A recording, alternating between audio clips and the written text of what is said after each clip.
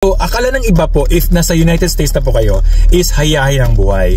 Hindi po lahat, okay? May mga struggles din kami. And isa na to, itong question na to, isa sa mga nagre-reflect na may mga struggles kami dito. Comment kasi dito is luwaan pag laging nako-call off sa work.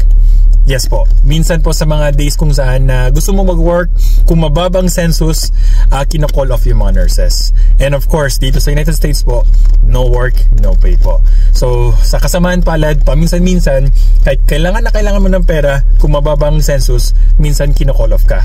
So, nangyari po yun sa amin uh, during the first few months na dito kami sa US. Hindi kami aware na may ganun pala and wala kaming control over that. Uh, and worse po kasi, if kasama mo yung mga travel nurses kung saan parang immune sa call off, kasi iba sa kanila sa kontrata nila na bawal silang i-call off. Kasi kahit i-call off mo sila, bayad pa rin sila. So may mga, travel nurses na ganun yung kontrata. So ganun din yung sa amin. Kaya kami yung mga staffing agency, kami yung laging kino-call off. Kasi nga, if i-call off kami, hindi kami bayad. Unlike sa uh, mga travel nurses. So, di ba? Uh, business-wise, tama naman yun, di ba? And talagang masakit.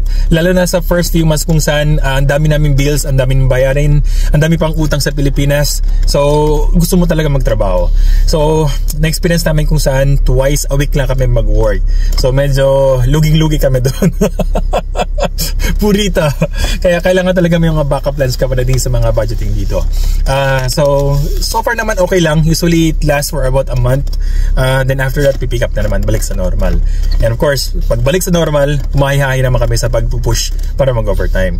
And so far naman, um, okay naman kung ma times na ganun. Lalo pag holidays, tapos overtime, the best. Then, yung next word is staffing agency rate. Tapos kahit saan uh, float man or ano, kina-call off pa rin. Yes po. Minsan, uh, kung mababang census sa isang unit, normally sa buong hospital yan. So, kahit saan ka gusto mo mag-float, gusto mo mag-overtime sa ibang unit, which is pwede naman, pero kung mababa census, wala. Wala kang options na ganun.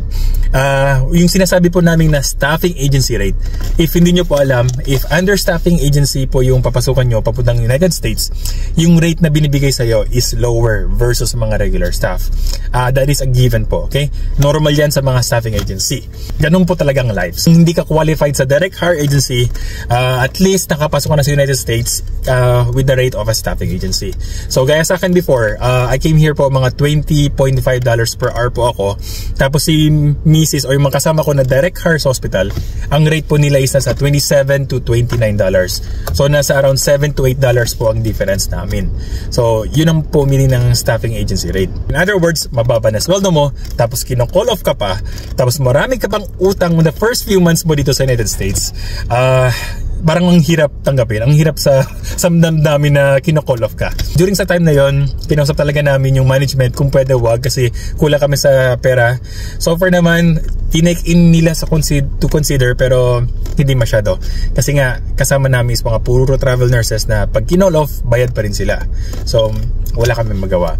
So, bumawi na lang kami after a month or two nung kung saan nag-pick up ng census. So, if akala nyo puro ayahay na dito sa United States, hindi. Okay?